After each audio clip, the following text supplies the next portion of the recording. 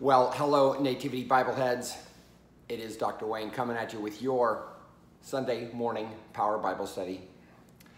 I hope everybody's doing well today. Today, uh, this the, the the chapter that we're dealing with, the story that we're dealing with, is I believe one of the theologically most quintessential chapters in the entire Bible. How do you like that? I hope you didn't, I hope I'm not overselling it. I really don't think I am because um, it just, it's, it's amazing. The, the lesson in this, in this uh, reunion episode, that's, like, you know, like the, like, uh, like they do in television, the reunion episode, you know, when there's a, um, uh, okay, let's let's start at the beginning. No, not the very beginning. The word Genesis does mean beginning. You know that, right? Um, so, where were we last week? Joseph, Jacob's young son, not youngest, but he's kind of like treated like the youngest. Remember, Benjamin was actually the youngest. Jake, Joseph gets sold off by his brothers and he gets taken to Egypt. And uh, what happens between then and today is, well, big famine, big famine in, uh, in the land of Canaan, in the land of that would uh, eventually be uh, called the Promised Land, uh, that land that was promised to Abraham and all his descendants. Big famine. And where do you go when there's a famine in that part of the country. You go south to Egypt, where apparently they learned how to do irrigation and grow stuff. So um, we all know the story about what happened to Joseph while he was there. I mean, who didn't see that old? I, didn't actually see it. there was a Disney movie called The Prince of Egypt, I think it was called. Uh, anyway, um, uh, I did like that one movie that uh, was about Joseph. Um, I can't remember which one it was called. Um, but uh, uh yeah, he is a um, big, uh, big wheel. He's not the king of Egypt. He's not actually a prince of Egypt. What he is, is like he's in charge of a whole lot of stuff for the Pharaoh. The Pharaoh, remember, the Pharaohs were. Um, they, you know, kind of like, you know how you have your kings today, like, you know, in Britain, they got their kings, queens, whatever, royalty. They appoint people to do stuff, to day-to-day stuff. Joseph had earned a position of great responsibility and respect. and it just so happens that when you come to Egypt and you're looking for, you want food, well, he's got the food. And in our episode today, chapter 45, verse 1, says, Then Joseph could no longer control himself before all those who stood by him, and he cried out, Send everyone away from me. What is, why, what, what couldn't he control himself about? Well, what had been happening was his brothers had come to him and they didn't know they were his brothers. They didn't know they, they didn't, Joseph knew that they were his brothers, but his brothers didn't know that he was Joseph. And so he was playing this little game with them of like giving them favors without them knowing. And um, there was just like a game going on. Um, also, with regard to like, oh, uh, Ben, uh, remember, Joseph and Benjamin were the only two sons of the favored wife, Rachel. Joseph was the second youngest, Benjamin was the youngest. And so they were, Joseph was kind of playing this game about he really wanted, he, his favorite brother is his younger brother, Benjamin. And he really plays this game with him about like, oh, you must bring to me uh, that child, that kind of thing. uh, because it was his youngest son. Um, and uh, the brothers were saying, "Oh no, Dad won't let us do that because he's the youngest, and uh, we can't." Um, anyway, so Joseph had been playing these games with them, and that's what it means when it says he could no longer control himself. It's like, ah, I gotta, I gotta. There comes a time I gotta, I gotta tell people what's going on here. So that's why he said, "Send everyone away from me." So no one stayed with him when Joseph made himself known to his brothers. Notice it doesn't actually tell, it doesn't narrate the uh, telling. All it says is that he told everybody, send them away, and then apparently he did it.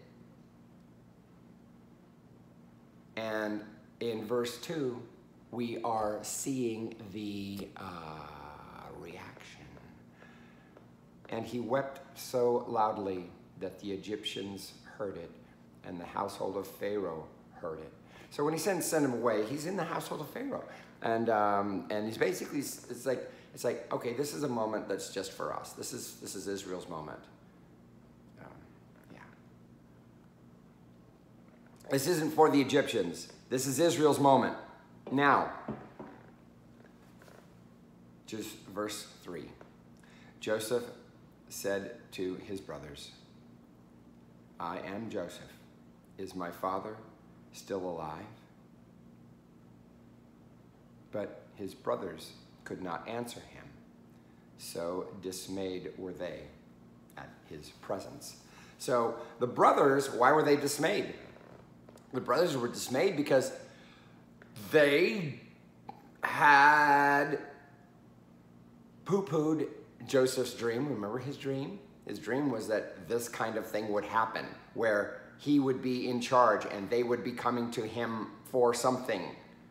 And they were afraid for their life.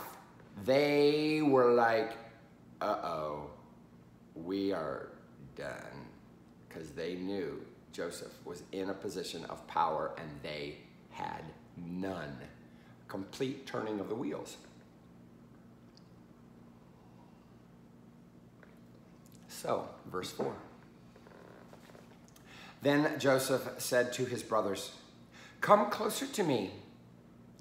And they came closer. He said, I am your brother Joseph, whom you sold into Egypt. And now, do not be distressed or angry with yourselves. Notice, don't be like don't be kicking yourself because you sold me here. For God sent me before you to preserve life. What? Can you believe this? This is the this is a theologically grandiose uh, understanding of the way the world is and the way God is in the world that I tell you what, if you can't embrace life and circumstances of life like Joseph did, all you'll ever be is just pissed off in life. Because Joseph could have been that, right? He totally could have been that. His brothers wanted to kill him. They sold him to slavery. And now he's at this huge this position of power. God sent me here to preserve life. This is the reaction of wisdom to life's stuff. Not very many people reach this. Most people are so happy to sit in that pool, that self pity pool and say, well, this is the reason. Nothing ever works out for me. I've always been, I, I, I must have been born into a bad sign, or Nothing ever works out for me. People always cut me off. I never win the lottery. I never get chosen. You know, that kind of kind of thinking. I tell you what, that's not going to get anybody anywhere. That opportunity was totally there for Joseph. And you know what? You know where he came? You know where he went with all of that? God sent me here to preserve life. Let's go on. I just love that that that purpose. I, that's like I should I should be preaching on this this I should be preaching on this this uh, passage. For the famine has been in the land these two years, and there are five more years in which there will be neither plowing nor harvest.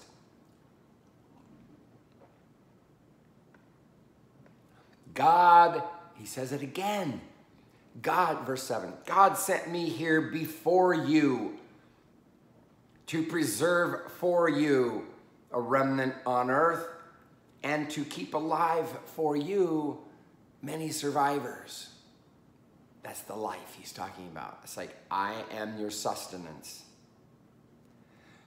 And he even, he keeps going on. He's like, just in case, I love that, just in case you did not get my point, okay? He's been very, very clear about what he's trying to say, that all of this has been God's doing, okay? Verse 8, just in case you're not paying attention, he says, So it was not you who sent me here, but God. He has made me a father to Pharaoh, and Lord of all his house, and a ruler over all the land of Egypt.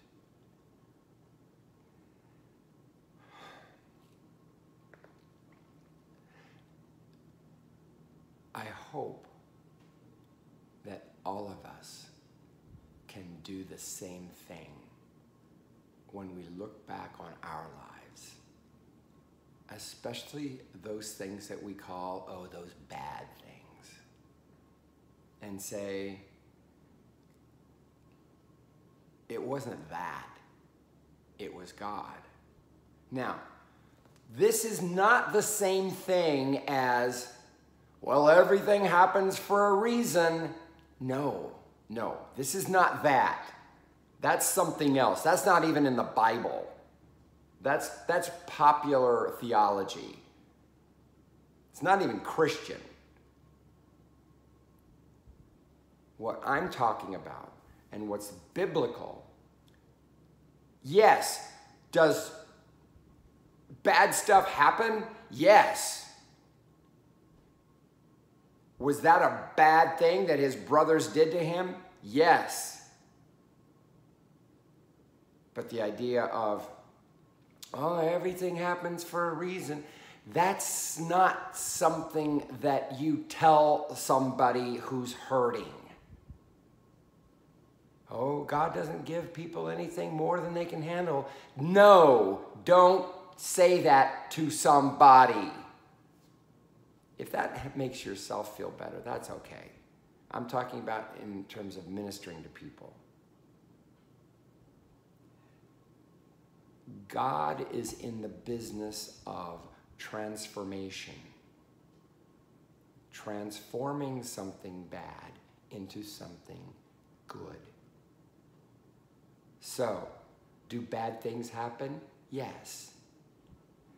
Does is what God is doing with it the reason it happened? No, it's not the reason. What it is, is the activity of divine transformation in our life. When we let God transform ourselves, then we can look back on those things and say, oh, yeah, I see now. And that's a whole lot different than everything happens for a reason. No. All right. So, let's go on. Verse 9. That's a good sermon, isn't it? I, I, I, I don't know what Scott's sermon was today, but it's like, that, that was a good that was a good one, right? Hurry, verse, I'm in uh, Genesis 45, verse 9. Hurry and go up to my father and say to him, Thus says your son Joseph God has made me Lord of all Egypt. Come down to me, do not delay. You shall settle in the land of Goshen, and you shall be near me, you and your children, and your children's children, as well as your flocks, your herds, and all that you have. I will provide for you there. Remember the dream? Since there are five more years of famine to come, so that you and your household and all you have will not come to poverty. Verse 12. And now your eyes and the eyes of my brother Benjamin see that it is my own mouth that speaks to you. You must tell my father how greatly I am honored in Egypt. Remember, his father also poo pooed one of his dreams. And all that you have seen, hurry and bring my father down here. So Mo- Jacob is very, or Jacob, uh, Joseph is very motivated to get his father here. He want, really wants to have that reunion with his father. The reunion with the brothers is complete. All right, verse 14. Oh, listen to this. Then he fell upon his brother Benjamin's neck and wept, while Benjamin wept upon his neck. Those are those are the two closest brothers. Uh, they're both they had the same mom, same dad. So it's like they were closer to each other than any of his brother other brothers. In verse 15, and he kissed all his brothers and wept upon them. And after that, his brothers talked with him. That is just a beautiful, beautiful picture of reconciliation. Yeah, we have a lot of crap. We've got a lot of crud, a lot of death in the Bible, a lot of ill intent, a lot of killing, a lot of a lot of bad stuff, right? Why? Because the Bible is not so much prescriptive or even proscriptive as it is what? That's right, descriptive. The stories in our Bible are descriptive in the sense that they show us how we are and how we can be. This is all of that. Verse 16. We're only going I think I'll go to the end of the chapter here. Verse 16. When the report was heard in Pharaoh's house, Joseph's brothers have come. Pharaoh and his servants were pleased. Pharaoh said to Joseph, Pharaoh loved Joseph was like so good. It's like he was like Pharaoh felt so blessed to have Joseph, this Pharaoh. Pharaoh said to Joseph, Say to your brothers, do this. Load your animals and go back to the land of Canaan. Take your, take your father and your households and, and come to me, so that I may give you the best of the land of Egypt, and you may enjoy the fat of the land. You are further charged to say, Do this. Take wagons from the land of Egypt for your little ones and for your wives, and bring your father and come. So he's like, Pharaoh's like, he's like laying out He's like rolling out the red carpet for the whole the whole clan.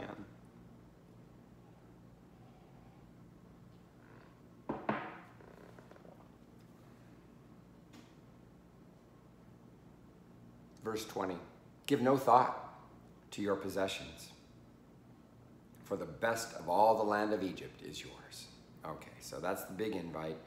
Um, and now uh, the, these last, uh, these last uh, eight, eight verses um, uh, we uh, we get a little we, get a picture of uh, what's going on with Jacob because uh, that'll close out our, our, our lesson for today. Verse 21 The sons of Israel did so.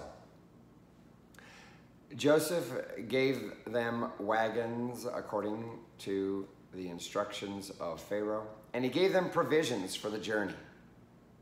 To each one of them, he gave a set of garments. But to Benjamin, he gave 300 pieces of silver and five sets of garments. He's his favorite, of course. And he wasn't in on that plot, by the way. He wasn't in on that plot to sell it. so, yeah, yeah, you can get that, right? Verse 23 To his father he sent the following ten donkeys loaded with the good things of Egypt. That's a euphemism. Uh, I hope I, I, I hope that we can remember that those words as a euphemism for just really laying it on. Ten donkeys. What do you mean? I gave you ten donkeys loaded with all the good things of Egypt. That's the that's what you're supposed to tell somebody the next time they don't they're not appreciative of your uh, extravagant gift. What are you talking about? Ten donkeys loaded with all the good things of Egypt. Huh? Hello? anyway, um, and ten female donkeys loaded with grain, bread, and provision for his father on the journey. Uh, he's want to make sure that his daddy is eating. then he sent his brothers on their way, and as they were leaving, look at this. He said to them, Do not quarrel along the way. Not only is Joseph embracing this wonderful transformation that God has wrought and bringing about the truth of his dream and allowing him to be of service to his brothers who did him so dirty, he is like, you know what? Be peaceful about all of this. Don't start kicking yourselves and saying, oh, wow, we were really idiots for that plan, weren't we? It's important to Joseph that they only see what's possible now, that they are also looking at the future. This is a great story. Don't I just love the story. Verse uh, 25. So they went up to out of Egypt. You go up out of Egypt. Why? Why do you go up? Doesn't matter which direction you're going. You go up out of Egypt. Why? Because of the elevation. It's low. You leave, you go up. There you go. So they went up out of Egypt and came to their father Jacob in the land of Canaan. And they told him, verse 26, Joseph is still alive. He is even ruler over all the land of Egypt. He was stunned.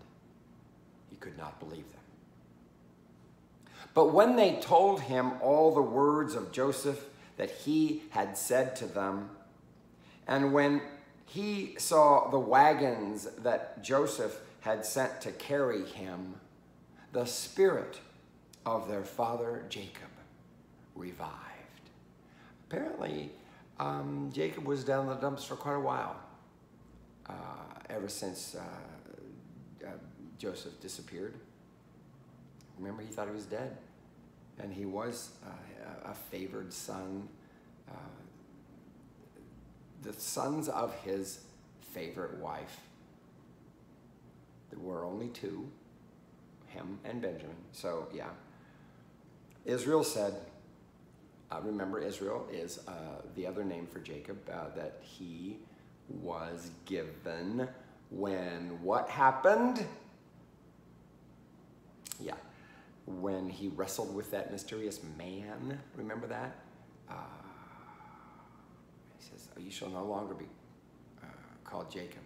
You, you shall be called Israel because you have wrestled with God. You have striven with God.